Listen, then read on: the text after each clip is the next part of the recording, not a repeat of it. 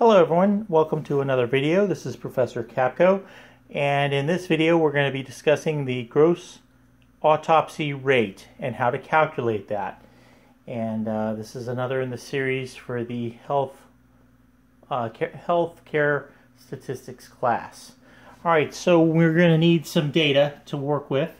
And so if we had some data from a community hospital that looks like this, for a fictional year from July to December. We've got the total inpatient discharges, including deaths, 724. Total inpatient deaths of 19. Less than 48 hours included in the total inpatient deaths, so it includes these in the 19, and it's 3. And it's got uh, parentheses around it because that means negative, so we'd subtract it from the 19. And total autopsies is 6.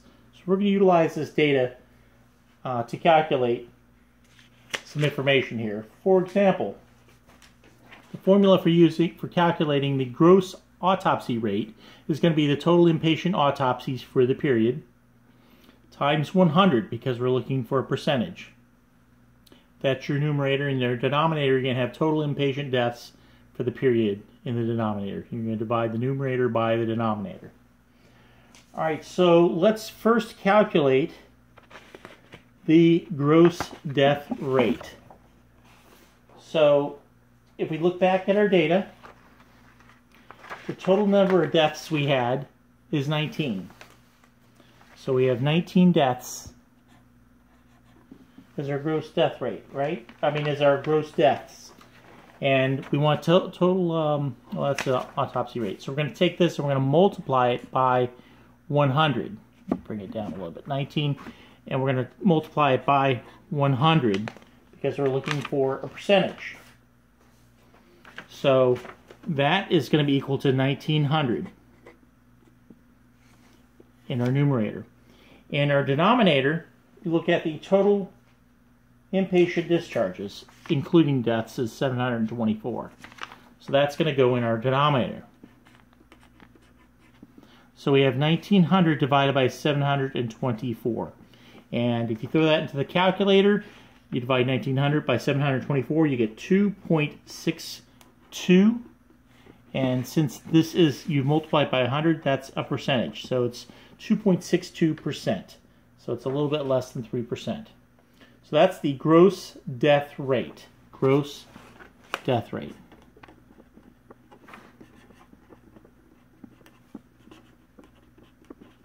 In this case is 2.62%. So then if we're going to figure out the, the net death rate,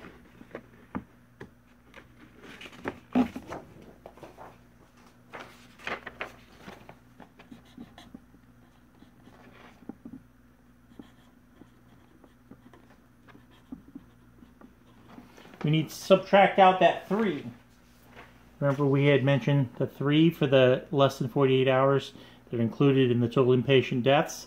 We need to subtract that from our 19. So we have 19 minus 3, that number times 100. So 19 minus 3 is 16 times 100 is equal to 1600.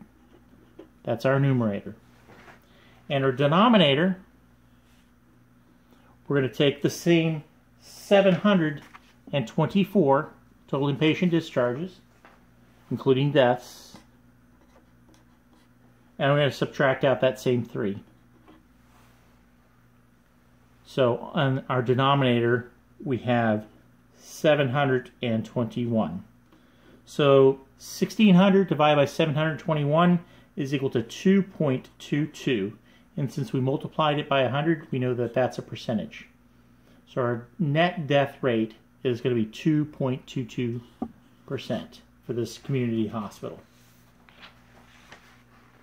And the last thing to calculate for this video is going to be the gross autopsy rate.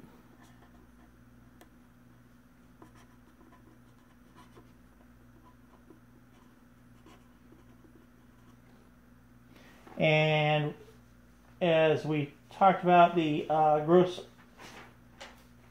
autopsy rate, we need to take, actually this I spelt it wrong, good thing it's not a spelling class. Uh, it's going to be total inpatient autopsies for the period times 100 divided by the to total inpatient deaths for the period. So our total inpatient autopsies from our data, if you recall, is 6. So we're going to multiply that by 100. So I got 6 times 100. And then I'm going to divide it by total inpatient deaths for the period. Total inpatient deaths for the period is 19. So 6 times 100 is 600, and I'm going to divide it by the total inpatient deaths, which is 19. So 600 divided by 19 is 31.58. And since we had multiplied it by 100, we know that this is a percentage. So 31.58 is our percentage, our gross autopsy rate. Hopefully you found that helpful. If you need help with other math um, or other subjects within this course, um, go ahead and subscribe to this channel. Thank you.